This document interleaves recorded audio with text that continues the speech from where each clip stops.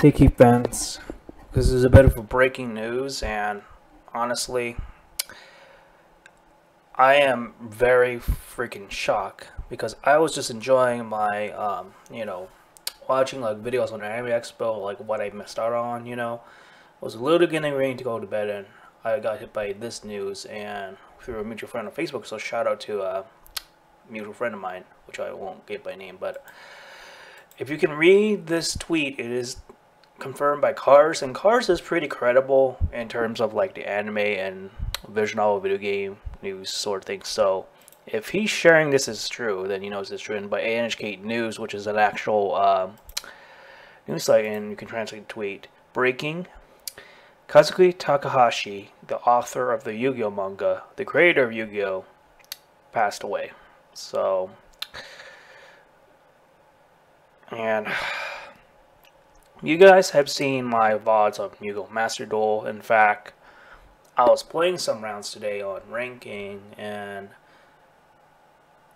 let me just tell you that I've been playing the Yu-Gi-Oh! card game as long as probably 2000 gosh man 2003 or 4 basically when the game get sort of got serialized in you know the United States. And I'm probably gonna do another like separate video talk about like how I started Yu-Gi-Oh but this is truly unfortunate. And he, he passed away according to him through Warren snorkel equipment.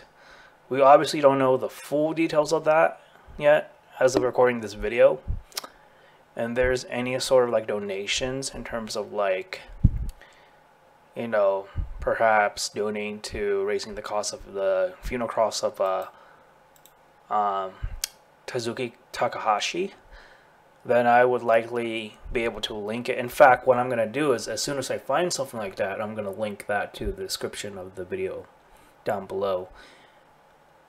But I'm just really, really freaking speechless. Like, I'm... 2022 has become definitely become one of the worst years in our lifetime. At least I used to think that way about 2020 and now it's looking like this year's been pretty fucking shit. I'm not I'm not going to bullshit you guys like this is just why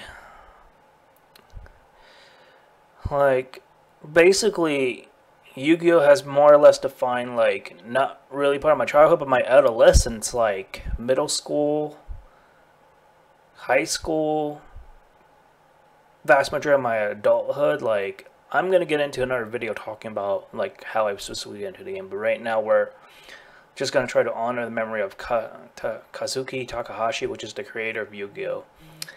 As unfortunately, it's not part of this world anymore. I'm just, oh my god, I'm just so.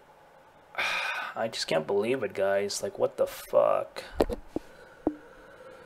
I, I, I don't know, man. I,